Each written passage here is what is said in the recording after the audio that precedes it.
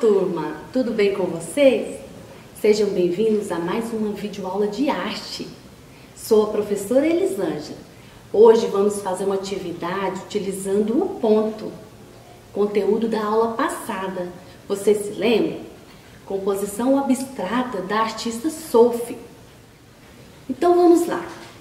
Pegue seu livro de arte, abra na página 11 a artista explorou as formas geométricas e que os círculos podem ser a própria forma, quando observamos isoladamente, como podem ser um elemento gráfico como ponto. Você vai criar um desenho usando também círculos e semicírculos. Pegue seu material de arte. Hoje vamos precisar do seguinte material: caderno de desenho, papel colorido, tesoura sem ponta, cola, lápis e um objeto circular, pode ser um copo ou uma vasilhinha com tampa ou uma tampinha de algum objeto para fazer os círculos, tá bom? Então, mãos à obra. Capriche na sua criatividade. Vamos lá? Primeiro, você vai escolher uma das folhas do seu papel colorido. Pegue o lápis e a tampa de um objeto, qualquer que seja, um copo de plástico, e você vai fazer vários círculos utilizando esse objeto para suporte. Faça vários círculos para você fazer o recorte. Isso. Depois você vai pegar a tesoura sem ponta e vai cortar com muito cuidado. E você vai fazer vários círculos coloridos.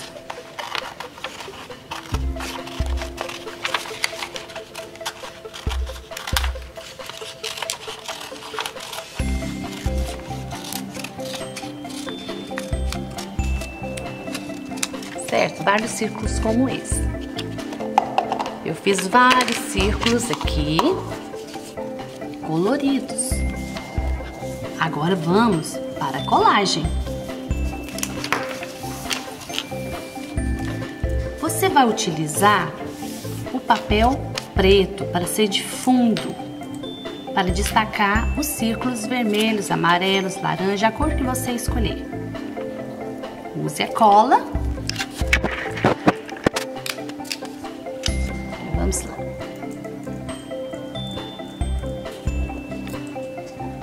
Um círculo.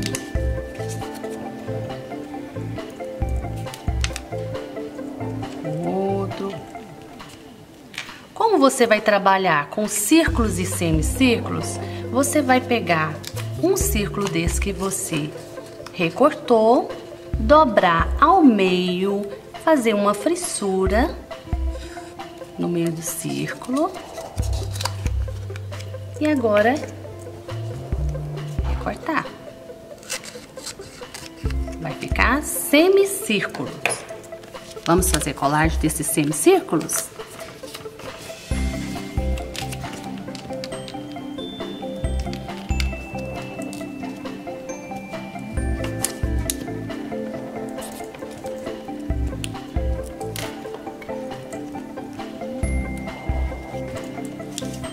Você pode criar do jeito que estiver na sua cabecinha. Vários modelos. Use sua criatividade.